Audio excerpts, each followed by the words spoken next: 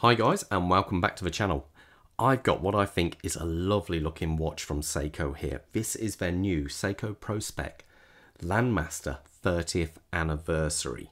Um, the reference number is SLA071J1. Now, I've had a few people say about, oh, I never mention reference numbers and prices and all that. But honestly, guys, check out the description below. There's links to the watch and all that kind of thing in there. So if you're after it, it's all in the description.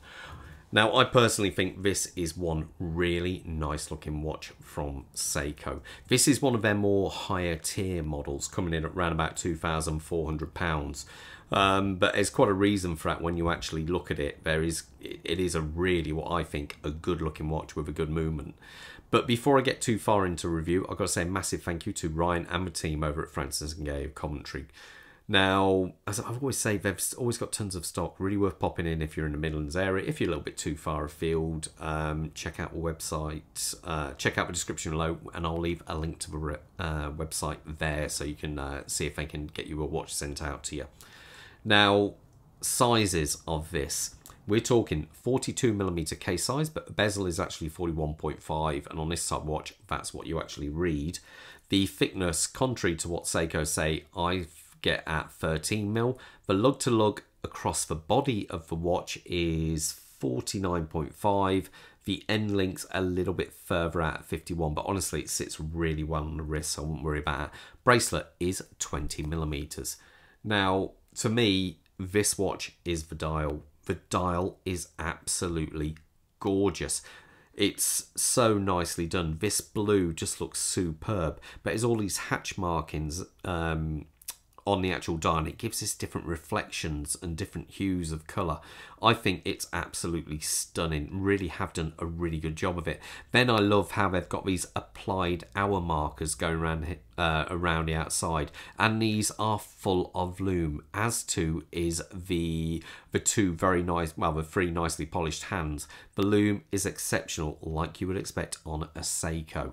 Now I say the applied Seiko logo does look really good on there. And then below, what some people, yeah, some people don't like, I've got no problem with it really, is the X for the Prospex um, series of watches there. Automatic and 20 bar. Yes, this watch is their Landmaster, but it does actually come with 200 meters of water resistance. Now, that means you can pretty well do everything in it. You can go scuba diving the full works if one so desired. So that is no problem. Now, if you're really quite eagle-eyed, you might notice the second hand is gliding round ever so smoothly, so much more so than on unregular looking Seiko. That's because this watch beats at 8 beats per second not the regular six beats per second you get on a normal Seiko. Now, if you whenever you see the two side by side, it's really noticeable, and on this watch, it just looks really, you know, it makes it so much better. I love the way the light reflects on these polished sections of the hands and hour markers. It just looks so good, I think. Now, as we come past that, we have this sapphire crystal. It is sunken just below the bezel, which is handy if you do place your watch, you know, kind of flat down on a table your crystal shouldn't take any, you know, it won't touch crystal at all. It will mark, I would say mark, it will touch on the bezel there. Now the bezel, it's a little bit different, being that this is a Landmaster, that means they've gone for the, basically the compass bezel. Now, I don't know anyone has ever used a compass bezel because uh, you can work it out on a normal watch just the same as you can with a compass bezel, but one thing I'm surprised they didn't do is on this inner section here, you could have almost put down a countdown bezel, which I think would have been nice. Just mark it up every 15 minutes or something. Uh, well, probably every five minutes. You could have marked it around there. Only a thought, but you know, it, it could have been done. So being that it's a compass bezel, there is no ratchet system. It is purely friction. And I'm not kidding, it's dampered perfectly. It really is ever so well done. It feels just that right amount of kind of um, tension to move it. It is absolutely spot on. Really can't fault that at all. It's beautiful to uh, to actually uh, use. Now, as we come around to the outside here, we do have a coin edge bezel, which goes on there, allowing you to uh, grip and purchase the top of the bezel. Now, as you come round, we have this beautiful brushwork. Now, one thing I should mention, this watch is titanium. So it feels lovely. It's around about 130 odd grams, I believe, which isn't particularly light, but for a watch of this kind of stature, really is. If this was made out of steel, like you get on the Marine Master 300s, it would weigh a lot more. So you have this beautiful brushwork. Oh, also, before I carry on, it's got a hard coating on there. So fingers crossed, it should be quite hard. I don't know what rating the hard coating is taken to. The Seiko Diashield is normally around about 500 Vickers. If anyone knows, please let me know what the uh, Vickers rating is on this. I would be interested. Now, as you can see, brushwork going on there. We have this beautiful polish work, um, beveled edge going on top there sculpting down at the bottom. Really, I think, nicely done. Now, as we come around to this side, we have these really heavy crown guards. Uh, they've done a really nice kind of big, made it look very macho and manual, manually, uh, manually, manly, sorry, uh, around the crown there. The crown is a screw down crown, as you can see there. There you go. Doesn't screw out very far, but it does screw down, and it is an unsigned crown, which I was quite surprised. I thought I might have signed it, but I've got no problem with that. So that screws down.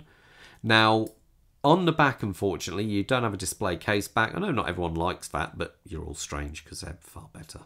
Um, but anyway, it's a solid case back on there. Now, underneath there is their movement, the 8L35. Now, I put this on the time grapher earlier, and it was doing a sterling job at around about two, two and a half seconds um, in the position I had it in, plus now, that's it's the 8L35 movement is a step up from all their 6R range and yeah, it, it really is a far better movement. It's kind of their answer to the ETA 2824 really. Um, but it's one advantage it has over the 2824. It has a second shock setting over the escape wheel, which is quite unusual. I'm getting a bit geeky, a bit watchmakery, but the to have two lots of shock settings on each plate is really quite cool. It's something Rolex also do on theirs and some of the older brands as well. So it is very nicely done. It has 26 jewels and run about 50 hours of power to its name. So that is actually quite nice. Still use their magic paw system, but in a slightly different way. It's quite cool how they do it. So anyway, getting a bit geeky let's talk about the bracelet. The bracelet is quite nice. It's not perfect, but it's quite nice. I like the way you can actually see where the blind studs are. You can probably just make out a slight groove there. So they've got a stud which goes all the way through, that holds that together, and then spring the actual pin locks that. So you can actually see it, which is quite unusual. So, but it is a pin system, I believe. Um, and it goes all the way around there. You have four levels of micro adjust. Now this is where it gets a little bit weird. As we come around here, this clasp is quite a chunky clasp. It's uh, got to be over 20 odd years old now. It was, I think it was originally released on the MM200. Fold over, it's okay. As you see, I've got the stickers on here. So as you pull this back, it's got a party piece. If I pull this, you can see it lifts up here. And what that means, it comes out here. Now, to be fair, it's not pretty, but it's a very cool system how they do it. Now, wouldn't really be good while you're wearing a watch because it'd look a bit funny if it sticks out like that. But this is more a dive link extension. A uh, little bit strange why it's on this watch, but I suppose you are paying £2,400-ish for this, so you do have this kind of system on there. It's a nice thing to have, but I don't know, I'd never use it. I don't go diving, but and this watch being, but it isn't a dive watch per se, is a bit strange. But there you go that's the one that's the bracelet on uh, the clasp on there. It is quite cool though. Let me put it on my wrist so you got an idea how it looks. Let's zoom out there. Um, quick wrist check. I'm still wearing my Oris 65 dial because i served it serviced it the other week and i wanted to check the timing of it rather than put it on the machine. Bob is wearing the Sika design. I quite like this watch. Uh, not for everyone, I know, but you wouldn't believe how many comments when people say, What is that watch? Quite cool. On one of John Keely's very nice leather straps. So, quick wrist check. My wrist size is seven and a quarter inches. Just quickly slip this on. And there you go. So, seven and a quarter inches and I think that looks very good. See what I mean about thickness? It hunkers down well, and also the lug to lug. Uh, some people might worry that it might be too long, but because it the way it sits down and curves down, it sits on the wrist really, really well. I think this is just a lovely watch. Um, that blue, you just it doesn't get old. It really is a handsome looking watch.